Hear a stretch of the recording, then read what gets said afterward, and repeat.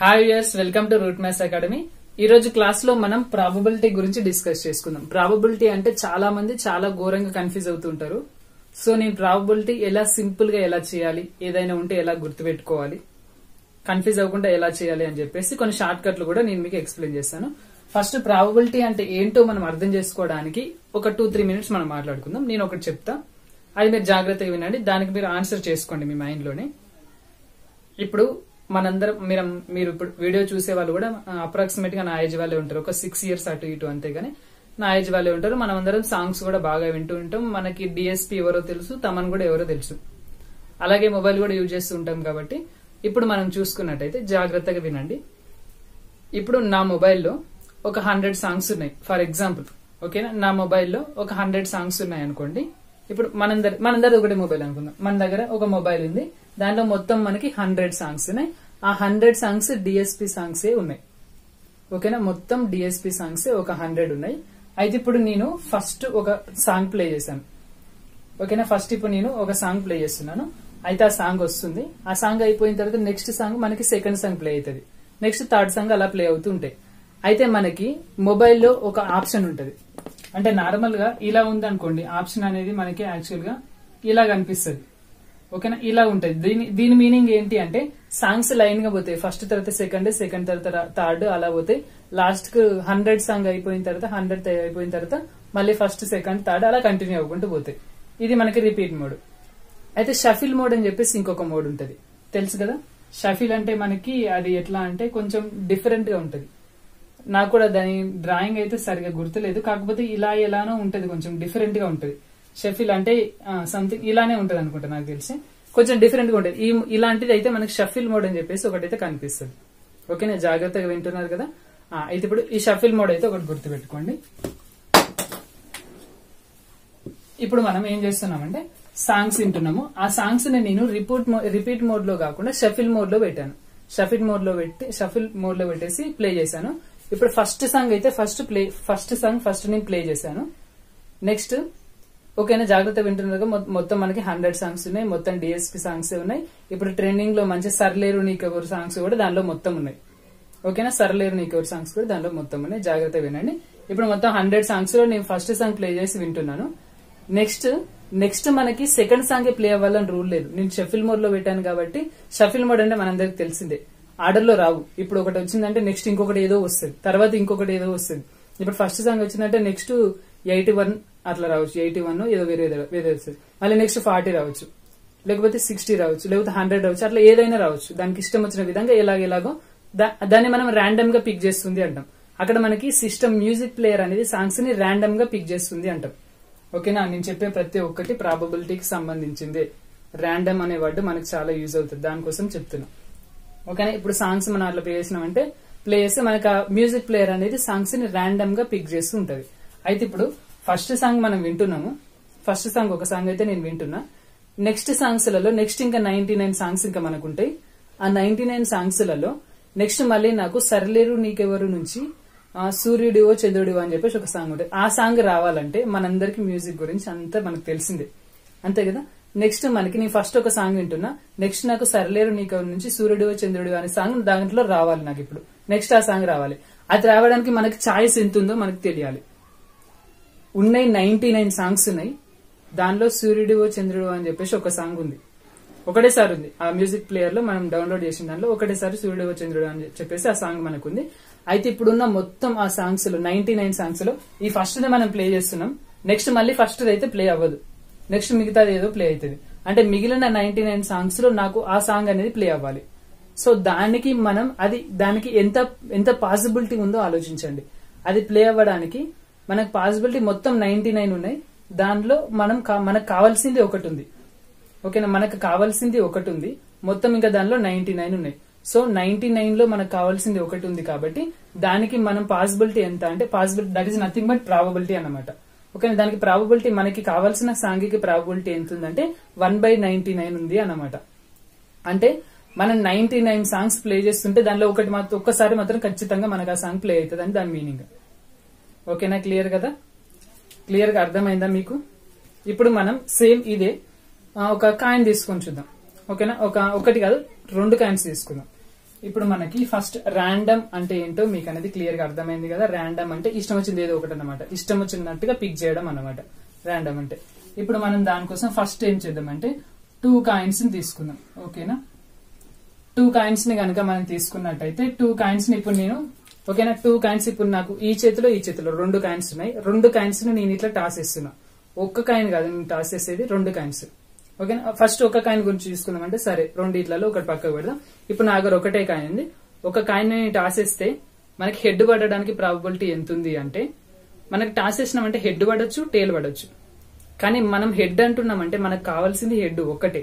కానీ దానిలో ఛాయిస్లు మొత్తం రెండు ఉన్నాయి. సో వన్ బై టూ అన్నమాట దాని మీనింగ్ ఓకేనా? ఇక్కడ కూడా మనం చూసుకున్నట్టయితే ఇప్పుడు మనకి రెండు కాయిన్లు ఉన్నాయి.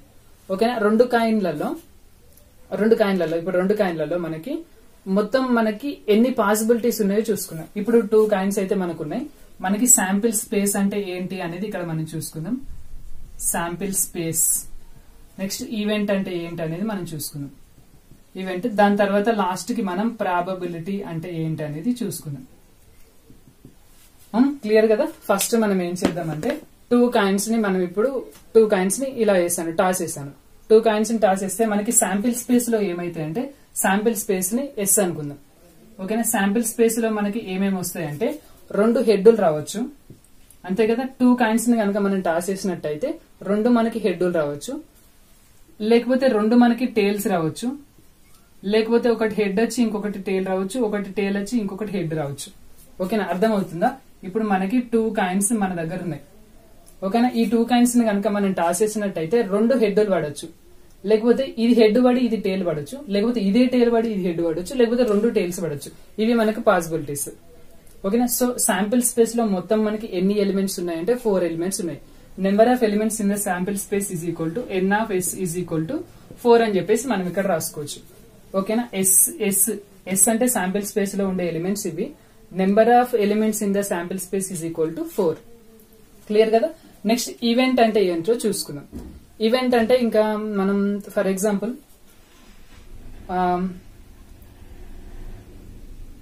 టూ హెడ్స్ కావాలనుకోండి. ఇప్పుడు నాకు టూ హెడ్స్ కావాలి. అది ఒక event for example event one అని తీసుకున్నామంటే టూ హెడ్స్ ఇప్పుడు నాకు కావాలి. గెట్టింగ్ టూ హెడ్స్ అన్నామంటే అదొక ఈవెంట్ అన్నమాట. గెట్టింగ్ టూ హెడ్స్ రెండు హెడ్స్ ఇప్పుడు నాకు కావాలి. ఓకేనా? రెండు హెడ్స్ అంటే ఇది అన్నమాట మనకి. ఓకేనా? రెండు హెడ్సే రావడానికి రెండు హెడ్సే కావాలి అంటున్నాం అంటే మనకి అదొక ఈవెంట్ దానికి ప్రాబబిలిటీ ఎట్లా చేస్తామంటే probability of E one is equal to probability అంటే ఏంటంటే మనకి ఇక్కడ దీని దగ్గరనే రాసుకున్నాం probability probability is equal to ప్రాబబిలిటీని మనం ఎట్లా రావచ్చు ఎట్లా రాయొచ్చు అంటే పి ఆఫ్ ఈ అని కూడా రావచ్చు రాయొచ్చు. ఓకేనా ప్రాబబిలిటీ ఆఫ్ అన్ ఈవెంట్ ఈ ఈవెంట్కి సంబంధించిన ప్రాబబిలిటీ అనేది మనకి ఎట్లా వస్తుంది అంటే P of E is equal to n of E divided by n of S ఓకేనా probability of an element is equal to probability of event is equal to number of favourable cases divided by total number of cases ఇందాక మనం songs play చేసేటప్పుడు number of favourable cases అంటే మనకి కావాల్సిన cases ఎన్ని ఉన్నాయి? మనకు కావాల్సిన సాంగ్స్ దానిలో ఒకటే ఉంది. సూర్యుడు చంద్రుడు అనుకున్నాగా మనకు కావాల్సింది ఒకటే సాంగ్ ఉంది. నెంబర్ ఆఫ్ ఫేవరబుల్ కేసెస్ అంటే వన్ పెడతాం.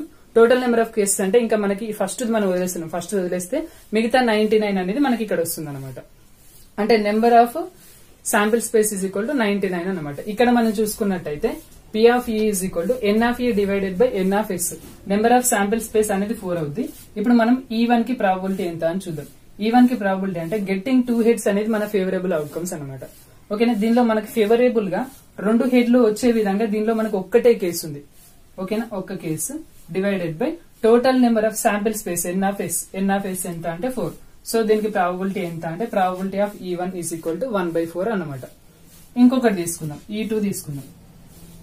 Getting at least one tail getting at least one tail ఇప్పుడు దీనికి మనం ప్రాబిలిటీ ట్రై చేద్దాం. Probability of E two second event E two అనే event getting at least one tail మనకి at least ఒక్క tail అన్న కావాలి. అంటే ఇప్పుడు రెండిట్లా లేచినాం అనుకోండి రెండు టేల్స్ అన్న పడచ్చు. లేకపోతే అట్లీస్ట్ ఒక్కటి ఒక్కటేలైనా మనకు కావాలి. రెండు హెడ్లు మాత్రం మనకు పడద్దు ఒక్క మనకు కావాలి. సో అలాంటి మనకి నెంబర్ ఆఫ్ ఫేవరబుల్ కేసెస్ ఎన్ని ఉన్నాయో ఇప్పుడు మనం చూసుకుందాం. ఓకేనా? కింద మనం ఏం చేస్తామంటే టోటల్ నెంబర్ ఆఫ్ కేసెస్. అంతే కదా? అంటే నెంబర్ ఆఫ్ శాంపిల్ స్పేస్ ఎంత అంటే మనకి ఫోర్ అనమాట number of elements in the sample space ఎంత అంటే ఫోర్ అనమాట మనకి పైన రావాల్సింది number of favourable outcomes. So getting at least one tail అంటే ఎట్లీస్ట్ ఒక్క టేల్ అయినా మనకు కావాలి అంటే దీనిలో అసలు టేల్ లేదు. ఇది మనకు కావాల్సిన ఫేవరబుల్ కాదు. ఇది మనకు ఫేవర్ లేదు. దీనిలో ఒక టేల్ ఉంది. దీనిలో ఒక టేల్ ఉంది. దీనిలో ఇంకా రెండు టేర్లు ఉన్నాయి.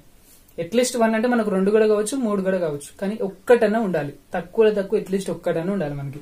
సో ఇక్కడ ఒకటి ఉంది ఇక్కడ ఒకటి ఉంది ఇక్కడ ఉంది. కాబట్టి మనకి ఫేవరబుల్గా మూడు ఉన్నాయి అనమాట క్లియర్ కదా? ఇది మనకి పి ఆఫ్ ఈ వన్ ఇట్లా వచ్చింది పి ఆఫ్ ఈ టూ వచ్చింది. ఒకవేళ ఎలిమెంట్స్ కావాలనుకోండి E one is equal to దీన్ని మనం ఎట్లా రాసుకోవచ్చు అంటే E one is equal to elements కావాలనుకున్నట్టయితే E one is equal to getting two heads అంటే ఇదన్నమాట. ఓకేనా E one next E two అనేది మనకి ఏమైతుందంటే అంటే ఇది ప్రాబబిలిటీ నేను రాసేది ఈ టూ ఓకేనా ఎలిమెంట్స్ ఏమేమి ఉంటాయని రాస్తున్నా. ఎలిమెంట్స్ ఈ టూ అంటే get getting at least one tail at least ఒక్క టేల్ అయినా మనకి కావాలి. ఒక్క టేల్ అయినా కావాలంటే ఇది కాదు మనకి. ఇది వస్తుంది. హెచ్టి వస్తుంది లేకపోతే టీహెచ్ వస్తుంది లేకపోతే టీటీ వస్తుంది. క్లియర్ కదా? ఈ వన్ ఈ టూ ఇవి మీరు గుర్తుపెట్టుకోండి. నెక్స్ట్ మనం డైస్ గురించి చూసుకుందాం. క్లియర్ కదా? Number of favourable outcomes divided by total number of outcomes ఓకేనా ఈ వీటిని మీరు గుర్తుపెట్టుకోండి. వీటి దగ్గరనే నేను ఇంకొక విషయం కూడా చెప్తా చూడండి. E ఈ వన్కి e ఈ టూ కి సంబంధించి. E one E two E two ఈవెంట్స్ని కనుక మనం తీసుకున్నట్టయితే ఈ రెండు ఈవెంట్లు ఈక్వల్లీ లైక్లీ ఈవెంట్స్ కాదు. ఓకేనా ఈ వర్డ్స్ అని గుర్తుపెట్టుకోండి. ఈ రెండు ఈవెంట్స్ ఈక్వల్లీ లైక్లీ ఈవెంట్స్ కాదు. ఈక్వల్లీ లైక్లీ ఈవెంట్స్ అంటే e ఈ వన్లో ఎన్నైతే మనకి ఎలిమెంట్స్ ఉంటాయో ఈ టూ లో కూడా అన్ని ఎలిమెంట్సే ఉన్నట్టయితే ఈక్వల్లీ లైక్లీ ఈవెంట్స్ అంటారు. దీనిలో ఈవెంట్స్ ఒకటే ఉంది. కానీ దీనిలో మూడు ఉన్నాయి సో ఈక్వల్లీ లైక్లీ ఈవెంట్స్ కాదు. నెక్స్ట్ ఇవి రెండు మ్యూచువల్లీ ఎక్స్క్లూజివ్ ఈవెంట్స్ ఉంటాయి మ్యూచువల్లీ ఎగ్జాస్టివ్ ఈవెంట్స్ ఉంటాయి. So mutually exclusive mutually exhaustive మనం ఎట్లా చెక్ చేయాలంటే ఇవి రెండింటికి ఇంటర్సెక్షన్ చేస్తే పై వచ్చింది అనుకోండి అప్పుడు దాన్ని మ్యూచువల్లీ ఎక్స్క్లూజివ్ అంటాం. ఓకేనా E one intersection E two చేస్తే మనకు పై రావాలి. అంటే ఇవి రెండు మ్యూచువల్లీ డిస్జాయింట్ దాంట్లో ఉన్నాయి దీంట్లో ఉండదు దీంట్లో ఉన్నాయి దాంట్లో ఉండదు దాంట్లో ఉండదు. దాన్ని మ్యూచువల్లీ ఎక్స్క్లూజివ్ అంటాం. మ్యూచువల్లీ డిస్జాయింట్ అన్నా మ్యూచువల్లీ ఎక్స్క్లూజివ్ అన్నా రెండు సేమ్ ఓకేనా? ఇప్పుడు వీటికి మనం ఇంటర్సెక్షన్ చేసినట్టయితే సేమ్ ఏం లేదు కాబట్టి మనకి పై వస్తుంది. సో ఓకేనా? ఇవన్నీ వీటిని ఈ టూని మనం ఇంటర్సెక్షన్ చేస్తే దీనిలో సేమ్ ఎలిమెంట్స్ మనకి ఏం లేవు కాబట్టి హెచ్హెచ్ ఉంది. మళ్ళీ ఇక్కడ హెచ్హెచ్ అయితే ఎక్కడ లేదు. So E one intersection E two is equal to phi కాబట్టి mutually disjoint or mutually exclusive mutually exclusive set అయింది మ్యూచువల్లీ ఎగ్జాస్టివ్ అని చెప్పేసి ఇంకొకటి మనకు ఉంటుంది. మ్యూచువల్లీ ఎగ్జాస్టివ్ అంటే ఏంటిదంటే e ఈ వన్కి e ఈ టూ కి యూనియన్ కనుక చేసినట్టయితే మనకి మన పాత శాంపిల్ స్పేస్ అనేది మనకు కావాలి. ఇంటర్సెక్షన్ చేస్తే పై వచ్చినట్టయితే మ్యూచువల్లీ ఎక్స్క్లూజివ్ యూనియన్ చేస్తే శాంపిల్ స్పేస్ వచ్చినట్టయితే మ్యూచువల్లీ ఎగ్జాస్టివ్ ఇవి రెండింటికి మనం యూనియన్ చేసాం అనుకోండి మనకు ఓవరాల్గా ఫోర్ ఎలిమెంట్స్ అయితే ఆ ఫోర్ ఎలిమెంట్స్ ఈ ఫోర్ ఎలిమెంట్స్ మనకు టోటల్ శాంపిల్ స్పేస్ అనేది మనకు వస్తుంది. సో ఇట్లా యూనియన్ చేసినప్పుడు శాంపిల్ స్పేస్ వస్తే మ్యూచువల్లీ ఎగ్జాస్టివ్ సో ఇప్పుడు మనం ఫైనల్ ఒకటి ఏం చేద్దాం? E one E two are not equally likely events and E one and E two are mutually exclusive events and E one and E two are mutually exhaustive events also clear కదా? ఇప్పుడు మనం ఒక dice తీసుకొని మళ్ళీ చేద్దాం. Throwing a die అన్నమాట. ఇప్పుడు throwing a die ఓకేనా మనందరికీ తెలిసిందే డైస్ అంటే ఏంటో మనందరికి తెలుసు. మనం కైలాసం అని చెప్పేసి ఒక గేమ్ ఆడుతుంటాం. అంటే దానికి ఇట్లా వన్ టూ త్రీ ఫోర్ అని చెప్పేసి ఇలా ఉంటాయి మనకి. అయితే దాన్ని ఇలా ఇలా అని చెప్పేసి మనం వేసినామంటే ఒకటి పడవచ్చు ఐదు పడవచ్చు ఎంత కొంత పడవచ్చు ఓకేనా? దాన్ని మనం డై అంటాం. డైస్ అంటాం యాక్చువల్గా. ఓకేనా? థ్రోయింగ్ ఏ డై ఇప్పుడు దీన్ని మనం ఒక డైస్ని కనుక మనం వేసినట్టయితే అది మనకి ఏంటి అంటే ఒక ఒక థ్రోయింగ్ ఏ డై అనేది మనకి దీనిలో చూసుకున్నట్టయితే మనకి నెంబర్ ఆఫ్ ఎలిమెంట్స్ ఎన్ని ఉన్నాయో చూసుకుందాం. ఫస్ట్ శాంపిల్ స్పేస్ మనకు తెలియాలి. శాంపిల్ స్పేస్ నేను ఎస్ అనుకుంటున్నా. శాంపిల్ స్పేస్లో మనకి మొత్తం ఎన్ని ఎలిమెంట్స్ ఉంటాయంటే డై మన డైస్ అనేది మనం వేస్తున్నామంటే దానిలో మనకి వన్ పడొచ్చు టూ పడొచ్చు త్రీ పడొచ్చు ఫోర్ పడొచ్చు ఫైవ్ పడొచ్చు సిక్స్ పడొచ్చు. సెవెన్ పడొచ్చా? పడదు. ఓన్లీ వన్ నుంచి సిక్స్ వరకు మాత్రమే ఉంటాయి. సో శాంపిల్ స్పేస్లో మనకు ఒకటి పడొచ్చు రెండు పడొచ్చు మూడు నాలుగు ఐదు ఆరు. ఇది మనకి శాంపిల్ స్పేస్ వెంటనే ఇక్కడ మనం రాసుకుందాం. Number of elements in the sample space n of S is equal to six అని చెప్పేసి మనం రాసుకున్నాం. మొత్తం దీనిలో ఎన్ని ఎలిమెంట్స్ ఉన్నాయి? సిక్స్ ఎలిమెంట్స్ ఉన్నాయి. ఇప్పుడు మనం ఈవెంట్స్ చూసుకుందాం. ఓకేనా first event E one is equal to E one is equal to getting number one getting number four తీసుకుందాం. గెట్టింగ్ నెంబర్ ఫోర్ ఇది E one next E two ఒకటి తీసుకుందాం. E two is equal to getting even number getting even number next E three తీసుకుందాం. ఈ event ఏంటి అంటే getting odd number getting odd number next E four ఒక్క నిమిషం ఒకసారి మనం ఆలోచించినట్టయితే ఇంతకు ముందు ఈ e one E e two అనేది అయిపోయింది కాబట్టి మనం కంటిన్యూషన్లోనే తీసుకున్నాం. కన్ఫ్యూజ్ అవ్వకుండా ఉండడానికి. ఓకేనా? E three E four E five next E six అనేది ఇంకొక ఈవెంట్ ఏం తీసుకుందాం అంటే గెట్టింగ్ ప్రైమ్ నెంబర్ అని చెప్పేసి తీసుకుందాం. గెట్టింగ్ ప్రైమ్ నెంబర్ నెక్స్ట్ ఇంకొకటి వచ్చేసి e ఈ సెవెన్ తీసుకుందాం. ఈ సెవెన్ ఏంటంటే గెట్టింగ్ నెంబర్ సెవెన్ తీసుకుందాం. గెట్టింగ్ నెంబర్ సెవెన్ నెక్స్ట్ ఇంకేమైనా ఉన్నాయా? గెట్టింగ్ న్యాచురల్ నెంబర్ కూడా ఒకటి తీసుకుందాం. E ఈ ఎయిట్ అనేది ఏం తీసుకుందాం అంటే getting natural number getting natural number ఓకేనా గెట్టింగ్ న్యాచురల్ నెంబర్ ఇంకా ఇంకొకటి లాస్ట్ ఇంకొకటి e ఈ నైన్ అని చెప్పేసి మనం ఏం తీసుకుందాం అంటే getting a number getting a number which is divisible by which is divisible by three ఓకేనా? వీటిని అయితే ఇప్పుడు మనం తీసుకుందాం. ఇప్పుడు వీటికి సంబంధించి ఇవి మనకి ఈవెంట్స్ ఓకేనా? ఈ ఈవెంట్స్కి మనం ప్రాబబిలిటీ ఇప్పుడు ఫైండ్ అవుట్ చేయాలి. ఫస్ట్ ఈవెంట్కి ఎంత ప్రాబబిలిటీ ఉంది? సెకండ్ ఈవెంట్కి ఎంత ప్రాబబిలిటీ ఉంది అనేది ఇప్పుడు మనం ఫైండ్ అవుట్ చేయాలి. ఇప్పుడు ఫస్ట్ ఈవెంట్కి ప్రాబబిలిటీ అంటే మనకి P of E three is equal to ఓకేనా? ఇది థర్డ్ ఈవెంట్ అంటే E three getting number four ఇప్పుడు దీనిలో మనకి మనకి యాక్చువల్గా నెంబర్ ఫోర్ అనేది ఫోర్ రావడం మనకి ఫేవరబుల్ అవుట్కమ్ ఓకేనా? టోటల్ నెంబర్ ఆఫ్ అవుట్కమ్స్ మనకి ఇక్కడ ఎన్ని ఉన్నాయంటే సిక్స్ ఉన్నాయి. ఓకేనా? N of E by n of S n of S అంటే సిక్స్ ఎన్ ఆఫ్ ఈ అంటే మనకి దీనిలో మనకి ఫేవరబుల్గా ఎన్ని అవుట్కమ్స్ ఉన్నాయో చూడండి. గెట్టింగ్ నెంబర్ ఫోర్ ఫోర్ అనే నెంబర్ కావాలి. ఫోర్ అనే నెంబర్ అంటే మనకు ఒక్కటే ఉంది కాబట్టి ఇది వన్ బై సిక్స్ అనమాట ఓకేనా? ఇక్కడ మనం అవి కూడా రాసుకుందామా? E ఈ ఎలిమెంట్స్ కూడా రాసుకుందాం. ఓకేనా? E three is equal to element ఏంటి అంటే గెట్టింగ్ నెంబర్ ఫోర్ అంటే ఇది. ఓకేనా? గెట్టింగ్ నెంబర్ ఫోర్ ఇప్పుడు నెక్స్ట్ మళ్ళీ దీనికి దీనికి సంబంధించింది ఇదేంటి? E ఈ ఫోర్ కదా. E ఈ ఫోర్లో ఎన్ని ఎలిమెంట్స్ ఉంటాయి ఇప్పుడు మనం చూసుకుందాం. గెట్టింగ్ ఈవెన్ నెంబర్ మనకి e ఈ ఫోర్లో ఈవెన్ నెంబర్ అంటే టూ కావచ్చు ఫోర్ కావచ్చు సిక్స్ కావచ్చు. టూ ఫోర్ సిక్స్ అంతే కదా? ఇవే మనకు దీనిలో వచ్చే ఈవెన్ నెంబర్ అంటే మనకు probability of E four is equal to ఏమైతుంది అంటే మొత్తం త్రీ ఎలిమెంట్స్ ఉన్నాయి. Three divided by six three divided by six అంటే మనకి ఎంత అవుతుంది అంటే వన్ బై టూ అనేది మనకు వచ్చేస్తుంది. ఓకేనా probability of getting even number is equal to one by two అంటే డైస్ని మనం వేస్తున్నామంటే మనకి ఈవెన్ నెంబర్ రావడానికి ఛాయిస్ ఎంత ఉంది అంటే fifty percent one by two అంటే ఫిఫ్టీ పర్సెంట్ అనమాట ఓకేనా? అంటే మనం డై చేసినామంటే ఫిఫ్టీ పర్సెంట్ అంటే మనకి ఈవెన్ నెంబర్ రావచ్చు ఆడ్ నెంబర్ రావచ్చు. ఈవెన్ నెంబర్కి ఫిఫ్టీ పర్సెంట్ ఉంటుంది ఆడ్ నెంబర్కి ఫిఫ్టీ పర్సెంట్ ఉంటుంది. ఆడ్ నెంబర్లో మనకి ఆడ్ నెంబర్స్ ఏమేమి ఉంటాయి అంటే ఈ ఫైవ్ ఎలిమెంట్స్ ఏముంటాయి? వన్ త్రీ ఫైవ్ ఉంటుంది.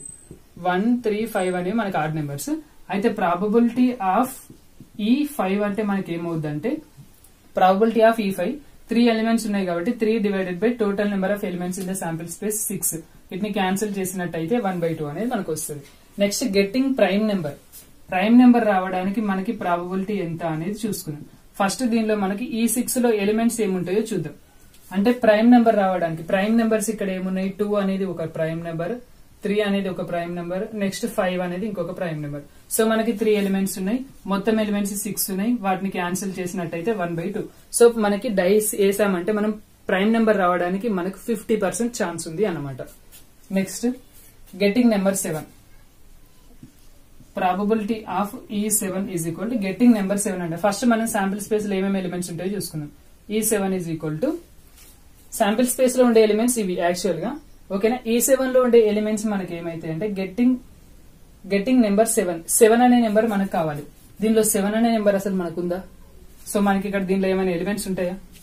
నో ఎలిమెంట్స్ ఏం ఎలిమెంట్స్ ఉన్నాయంటే జీరో అని మనకు రాయొద్దు. జీరో అనేది కూడా మనకు ఒక ఎలిమెంటే ఆ విషయం గుర్తుపెట్టుకోండి. ఓకేనా? ఇక్కడ మనకి ఎలిమెంట్స్ అయితే ఏం రాలేదు. ఎలిమెంట్స్ ఏం రాలేదు అంటే జీరో డివైడెడ్ బై అంతే కదా మనకి ఈ సెవెన్లో మనకి ఏమైనా ఎలిమెంట్స్ మనకి సెవెన్ రావడానికి మనకి ఏమైనా ఫేవరబుల్ అవుట్కమ్స్ ఉన్నాయి? అంటే ఫేవరబుల్ అవుట్కమ్స్ ఏం లేవు. Total number of outcomes six అంటే టోటల్గా మనకి జీరో అన్నమాట.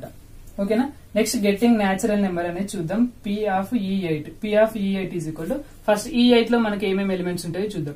E eight is equal to getting natural number ఇచ్చిన వాటిలో న్యాచురల్ నెంబర్ ఏంటి అంటే ఇవన్నీ న్యాచురల్ నెంబర్స్ మనకి. అంతే కదా? One two three four five six అన్ని న్యాచురల్ నెంబర్స్ సో మనకి ఫేవరబుల్ అవుట్కమ్స్ సిక్స్ ఉన్నాయి. టోటల్ నెంబర్ ఆఫ్ అవుట్కమ్స్ కూడా సిక్స్ ఉన్నాయి. సో మనకి ఇక్కడ ఎంత వస్తుంది అంటే వన్ వస్తుంది. క్యాన్సిల్ చేసినట్టయితే మనకి వన్ వస్తుంది. Next getting getting a number which is divisible by three ఇదేంటి? ప్రాబబిలిటీ ఆఫ్ ఈ నైన్ అన్నమాట. Probability of E nine first మనం e ఈ నైన్లో ఎన్ని ఎలిమెంట్స్ ఉంటాయో చూసుకుందాం. E ఈ నైన్లో ఎన్ని ఎలిమెంట్స్ ఉంటాయంటే probability of probability of a number which is divisible by three three divisible అయ్యేవి ఇక్కడ ఎన్ని ఉన్నాయో చూసుకుందాం. త్రీతో డివిజిబుల్ అయ్యేది త్రీ ఒకటి ఉంది సిక్స్ ఒకటి ఉంది. సిక్స్ కూడా త్రీతో డివిజిబుల్ అవుతుంది. అంటే త్రీతో డివిజిబుల్ అయ్యేది అంటే త్రీ టేబుల్లో పోయేటి అనమాట అంటే త్రీ సిక్స్ ఓకేనా? త్రీ సిక్స్ అంటే మనకి నెంబర్ ఆఫ్ ఫేవరబుల్ అవుట్కమ్స్ ఇక్కడ మనకు రాసుకుందాం. ఫస్ట్ త్రీ సిక్స్ అని రాసుకుందాం. Number of favourable outcomes two ఉన్నాయి. Total number of outcomes six cancel చేసినట్టయితే మనకి వన్ బై త్రీ ఇప్పుడు స్టార్ట్ చేద్దాం. ఇప్పుడు మీరు జాగ్రత్తగా వినాలి. ఓకే మనం అన్నిటి ప్రాబబిలిటీలు అయితే రాసుకున్నాం. ఇప్పుడు మనం వీటిలో చూసుకున్నట్టయితే ఈ ఫోర్ ఈ ఫైవ్ ఈ రెండిట్లలో మనకి త్రీ త్రీ ఎలిమెంట్స్ ఉన్నాయి. సో ఈ ఫోర్ ఈ ఫైవ్ని ఈక్వల్లీ లైక్లీ ఈవెంట్స్ అనొచ్చు. ఎందుకంటే number of elements in E four is equal to number of elements in E five అలాగే ఈ ఫైవ్ ఈ సిక్స్ను కూడా ఈక్వల్లీ లైక్లీ ఈవెంట్స్ అనొచ్చు. ఈ ఫోర్ ఈ సిక్స్ని కూడా ఈక్వల్లీ లైక్లీ ఈవెంట్స్ అనొచ్చు. ఇక్కడ మాత్రం టూ ఉన్నాయి. సో ఇది దీన్ని అయితే మనం ఈక్వల్లీ లైక్లీ అనడానికి ఇంకోటి అయితే ఏం మనకి లేదు. ఓకేనా ఇవి మూడు అయితే equally likely events okay clear కదా? ఈక్వల్లీ లైక్లీ ఈవెంట్స్ అయిపోయింది. నెక్స్ట్ మ్యూచువల్లీ ఎక్స్క్లూజివ్ అలాగే మ్యూచువల్లీ ఎగ్జాస్టివ్ గురించి మనం చూసుకుందాం. మ్యూచువల్లీ ఎక్స్క్లూజివ్ అన్న మ్యూచువల్లీ డిస్జాయింట్ అన్న ఒకటే అని చెప్పాను కదా. సరే మ్యూచువల్లీ ఎక్స్క్లూజివ్ అని మనం చెప్పేసి మనం అనుకుందాం. Mutually exclusive mutually exhaustive mutually exclusive అంటే ఏంటి అంటే ఇంటిగ్రేషన్ ఇంటర్సెక్షన్ చేసినట్టయితే మనకి పై వస్తే దాన్ని మనం మ్యూచువల్లీ ఎక్స్క్లూజివ్ అంటాం. ఇక్కడ మనకి మ్యూచువల్లీ ఎక్స్క్లూజివ్ కోసం చేస్తే ఇంటర్సెక్షన్ చేస్తే పై రావాలి. అంటే ఇంటర్సెక్షన్ చేస్తే మనకి ఎలిమెంట్స్ ఏమి ఉండదు ఇవి రెండింటిని ఇంటర్సెక్షన్ చేసాం అనుకోండి ఈ ఫైవ్ని ఈ ఫైవ్ని ఈ ఫోర్ని ఈ ఫైవ్ని ఈ రెండింటిని ఇంటర్సెక్షన్ చేసినట్టయితే మనకి కామన్ ఎలిమెంట్స్ ఏం లేవు. సో మనకి పై అనేది వస్తుంది. అంటే పై వస్తుంది. E E four intersection E five is equal to phi వచ్చిందంటే ఈ ఫోర్ ఈ ఫైవ్ అనేవి మ్యూచువల్లీ ఎక్స్క్లూజివ్ అన్నమాట. ఓకేనా ఇవి రెండు ఎలిమెంట్స్ మ్యూచువల్లీ ఎక్స్క్లూజివ్ అలాగే ఇవి రెండింటిని యూనియన్ చేసాం అనుకోండి. ఇవి రెండింటిని యూనియన్ చేస్తే మనకి టోటల్ శాంపిల్ స్పేస్ వస్తుంది. సో వీటిని మ్యూచువల్లీ ఎగ్జాస్టివ్ అని కూడా అనొచ్చు. ఓకేనా మ్యూచువల్లీ ఎక్స్క్లూజివ్ అనొచ్చు మ్యూచువల్లీ ఎగ్జాస్టివ్ అనొచ్చు. ఇప్పుడు ఇంకా ఇవి రెండు చూసుకుందాం ఒకసారి. ఇవి రెండు చూద్దాం. వీటిని మనం మ్యూచువల్లీ ఎక్స్క్లూజివ్ అనొచ్చా? మ్యూచువల్లీ ఎక్స్క్లూజివ్ అనాలంటే వీటికి ఇంటర్సెక్షన్ చేస్తే పై రావాలి. కానీ ఒక ఎలిమెంట్ ఉంటుంది. సో మ్యూచువల్లీ ఎక్స్క్లూజివ్ అనద్దు. మ్యూచువల్ ఎగ్జాస్టివ్ అనొచ్చా? చూద్దాం. వీటికి యూనియన్ చేసినామంటే శాంపిల్ స్పేస్ రావాలి. యూనియన్ చేసినామంటే టూ మిస్ అవుతుంది. ఫోర్ కూడా మిస్ అవుతుంది. సో శాంపిల్ స్పేస్ రావట్లేదు కాబట్టి మ్యూచువల్లీ ఎగ్జాస్టివ్ అని కూడా అనద్దు. క్లియర్ కదా? నెక్స్ట్. ఇక్కడ మనకి గెట్టింగ్ నెంబర్ సెవెన్ అన్నాడు. గెట్టింగ్ నెంబర్ సెవెన్ అంటే మనకి ఇక్కడ సెవెన్ అయితే అసలు లేనే లేదు. అంతే కదా? శాంపిల్ స్పేస్లో సెవెన్ అనేది లేనే లేదు. అంటే ఇక్కడ మనకి ప్రాబబిలిటీ ఎంత అవుతుంది అంటే జీరో అవుతుంది. దీని ప్రాబబిలిటీ జీరో వచ్చిందంటే దాన్ని ఇంపాసిబుల్ ఈవెంట్ అంటాం. ఇదంతా మీరు ఒక దగ్గర మంచి నోట్స్ లాగా రాసుకుంటే రాసుకోండి. నేను జస్ట్ ఎక్స్ప్లెయిన్ చేస్తాను అంతే. అన్నిటిని రాస్తే చాలా టైం వేస్ట్ ఓకేనా? ప్రాబబిలిటీ గనక జీరో వచ్చింది అంటే ఓకేనా? Probability is equal to zero అయిందంటే దాన్ని ఇంపాసిబుల్ ఈవెంట్ అంటాం. సో దీన్ని మనం ఇంపాసిబుల్ ఈవెంట్ అనొచ్చు. ఈ ఎయిట్ని మనం ఈ సెవెన్ కదా మనం ఎక్కడ ఈ సెవెన్ ఈ సెవెన్ని మనం ఇంపాసిబుల్ ఈవెంట్ అని అనొచ్చు. క్లియర్ కదా? ఎందుకంటే మనకి సెవెన్ అనే నెంబర్ మనకి రాదు. సెవెన్ అనే నెంబర్ రాదు కాబట్టి ఈ సెవెన్ అనే దాన్ని మనం ఇంపాసిబుల్ ఈవెంట్ అనొచ్చు. జీరో ప్రాబబిలిటీ అనేది జీరో అయినట్టయితే దాన్ని మనం ఇంపాసిబుల్ ఈవెంట్ అనొచ్చు. ప్రాబబిలిటీ ఎప్పుడైతే వన్ అవుతుందో దాన్ని మనం షూర్ ఈవెంట్ అనొచ్చు. ఎందుకంటే getting getting a natural number అన్నాడు కాబట్టి న్యాచురల్ నెంబర్ అంటే ఇవన్నీ మనకి న్యాచురల్ నెంబర్సే అంటే ఖచ్చితంగా మనకి న్యాచురల్ నెంబర్ వస్తుంది. ఖచ్చితంగా మనం ఒక డైస్ వేసినామంటే ఖచ్చితంగా మనకు న్యాచురల్ నెంబర్ వస్తుంది. దాన్ని షూర్ ఈవెంట్ అంటాం. క్లియర్ కదా? గెట్టింగ్ గెట్టింగ్ న్యాచురల్ నెంబర్ అంటే ప్రాబబిలిటీ అనేది వన్ వచ్చింది కాబట్టి ఈ ఈవెంట్ని మనం షూర్ ఈవెంట్ అంటాం. దీన్ని మనం ఇంపాసిబుల్ ఈవెంట్ అనొచ్చు. దీన్ని మనం షూర్ ఈవెంట్ లేకపోతే దీన్ని సర్టైన్ ఈవెంట్ అని కూడా అనొచ్చు. క్లియర్ కదా? దీని ఇంకా సర్టైన్ ఈవెంట్ అని కూడా అనొచ్చు. ఇప్పుడు మనం వీటికి సంబంధించిన ఇంతవరకు అయితే నేను మీకు క్లియర్గా అర్థమైందని అనుకుంటున్నాను. అర్థం అయితే మళ్ళీ ఒకసారి చూడండి. ఇప్పుడు మనం యాక్సియమ్స్ ఆఫ్ ప్రాబబిలిటీ గురించి చూసుకుందాం. ఇప్పుడు మనకి ఈ యాక్సియమ్స్ తెలుసుకున్నట్టయితే మనకి ప్రాబిలిటీ చేయడం ఇంకొంచెం ఈజీ అయిపోతుంది. మనకి యాక్సియమ్స్లో ఫస్ట్ ఏంటి అంటే probability of sample space is equal to ఏమవుతుందో మనం చూసుకుందాం. ప్రాబిలిటీ ఆఫ్ నల్ స్పేస్ ఏమవుతుంది అనేది మనం చూసుకుందాం. ఓకేనా ప్రాబిలిటీ ఆఫ్ శాంపిల్ స్పేస్ అలాగే ప్రాబిలిటీ ఆఫ్ నల్ స్పేస్ అనేవి మనం ఏమైతాయి అనేవి ఇప్పుడు మనం చూసుకుందాం. ప్రాబిలిటీ ఆఫ్ శాంపిల్ స్పేస్ అంటే ఇక్కడ ఇది ఉంది చూడండి. దీనిలో మనం చూసుకున్నట్టయితే మనకి e ఈ ఎయిట్ తీసుకున్నట్టయితే అంటే దీన్ని మనం షూర్ ఈవెంట్ అని కూడా అనొచ్చు. ప్రాబిలిటీ ఆఫ్ శాంపిల్ స్పేస్ అంటే శాంపిల్ స్పేస్ అంటే మనకి మొత్తం సిక్స్ ఉంటాయి. అంటే ఇప్పుడు మనకి ఇక్కడ చూసుకున్నట్టయితే ఇదంతా మనకి శాంపిల్ స్పేసే అలా ఉన్నప్పుడు మనకి ప్రాబిలిటీ ఎంత వస్తుంది అంటే వన్ వస్తుంది. ఓకేనా ప్రాబిలిటీ ఆఫ్ శాంపిల్ స్పేస్ అంటే వన్ వస్తుంది. అలాగే ప్రాబిలిటీ ఆఫ్ నల్ స్పేస్ అంటే మనకి ఏమైతుంది అంటే ఇది మనకి నల్ స్పేస్ అనమాట ఓకేనా ప్రాబిలిటీ ఆఫ్ నల్ స్పేస్ పై ఉన్నప్పుడు మనకి ఏమొస్తుంది అంటే జీరో వస్తుంది.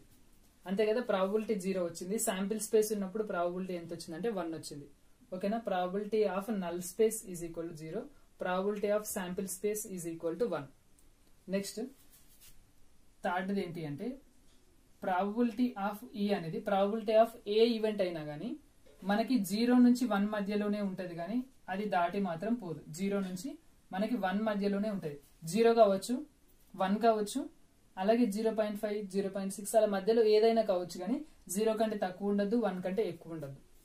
మీకు ఎప్పుడైనా which of the the probability the probability of అని చెప్పేసి ఒక క్వశ్చన్ ఇచ్చి ఆప్షన్లలో ఇలా ఉందనుకోండి సిక్స్టీన్ డివైడెడ్ బై ఫిఫ్టీన్ అని చెప్పి ఆప్షన్లలో కనిపించింది అనుకోండి వెంటనే దాన్ని మీరు కొట్టేసేయాలి. అది మనకు అస్సలే కరెక్ట్ ఆన్సర్ కాదు. ఎందుకంటే మనం దీన్ని ఫైండ్ అవుట్ చేసినామంటే న్యూమరేటర్లో పెద్దదని పెద్దది చిన్నదన్నట్టయితే ఇది వన్ కంటే ఎక్కువనే వస్తుంది. వన్ కంటే ఎక్కువనే వస్తుంది కాబట్టి ప్రాబిలిటీలో మనకి యాక్సియం అదే వన్ దాటిపోవద్దు జీరో కంటే తక్కువ రావద్దు. సో వెంటనే మనం దాన్ని కొట్టిపడేసేయాలి. ఒకవేళ మనకి ఇలా ఉంది అనుకోండి వన్ బై ఫిఫ్టీన్ ఉంది. ఇలా ఉంటే మనకు ప్రాబిలిటీ అయితే అయ్యే అయ్యే ఛాన్స్ అయితే ఉంటాయి. ఒకవేళ మైనస్ వన్ బై ఫైవ్ ఉంది అనుకోండి వెంటనే కొట్టేసేయాలి మళ్ళీ. ఓకేనా మైనస్ వన్ బై ఫిఫ్టీన్ ఉన్నట్టయితే నెగిటివ్లో ఉంది. మనకి జీరో కంటే తక్కువ కూడా ఉండదు. సో దాన్ని కూడా వెంటనే మనం కొట్టేసేయాలి. ఇది మనకి third axiom very important axiom probability of an event lies in between zero and one ఓకేనా జీరో నుంచి వన్ మధ్యలో ఉంటుంది జీరో కావచ్చు వన్ కూడా కావచ్చు. ఇంకొకటి లాస్ట్ ఇంకొక యాక్సిమ్ చెప్తాను.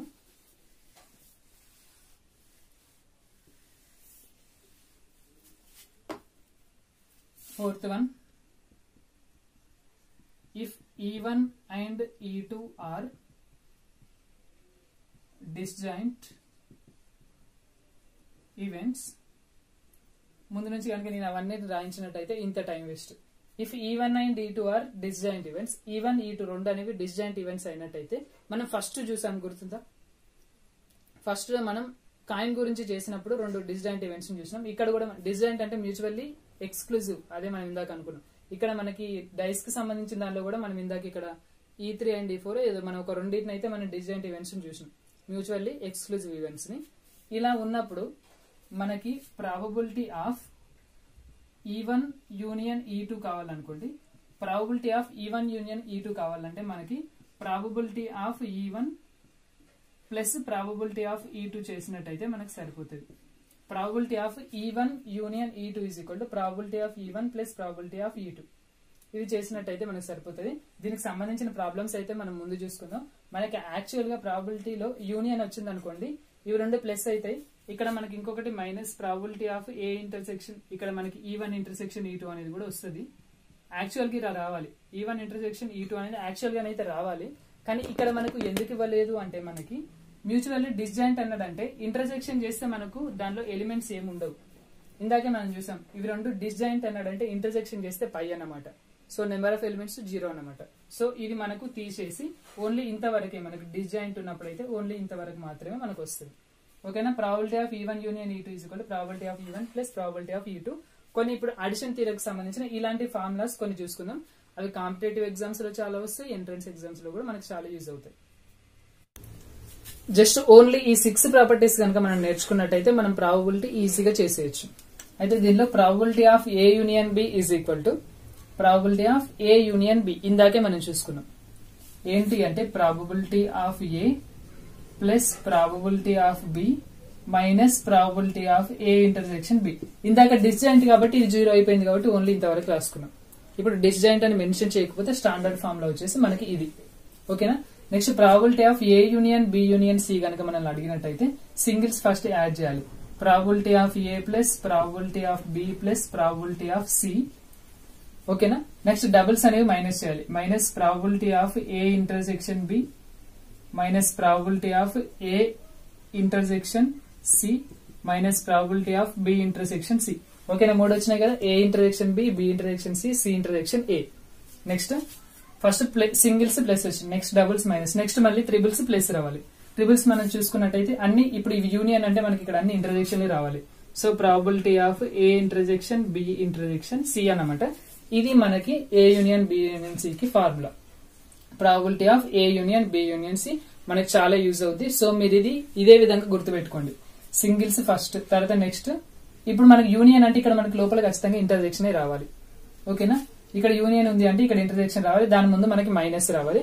ఒకవేళ మనకి probability of A intersection B అడిగాడు అనుకోండి మైనస్ ఇటు వచ్చింది అనుకోండి ఇది అడిపోతే మళ్ళీ ఇటే మైనస్ అవుతుంది so probability of A intersection B అన్నట్టయితే ఇక్కడ మనకి యూనియన్ వస్తుంది. కానీ ఇక్కడ అలా వర్తించదు త్రీ ఉన్నప్పుడు. ఓకేనా probability of A union B union C is equal to singles first add చేసినాం. నెక్స్ట్ డబుల్స్ అనేవి మనం ఇక్కడ మైనస్తో రాసినాం. నెక్స్ట్ త్రిబుల్స్ మళ్ళీ ప్లస్ అని రాసినాం.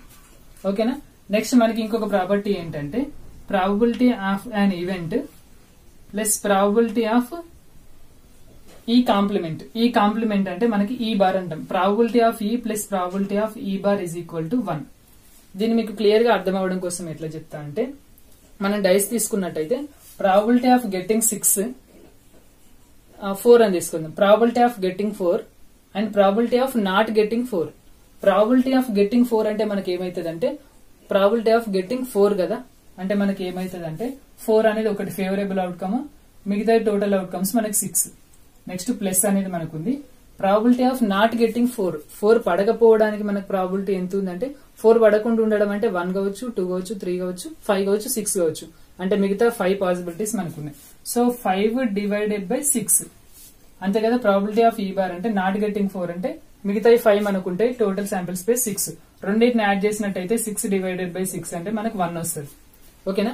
శాంపిల్ స్పేస్లో ఇక్కడ మనకి ఎన్ని వస్తాయో దాని కాంప్లిమెంట్లో దీని నుంచి మైనస్ చేసి ఎంత ఉంటాయో అన్ని వస్తాయి మనకి.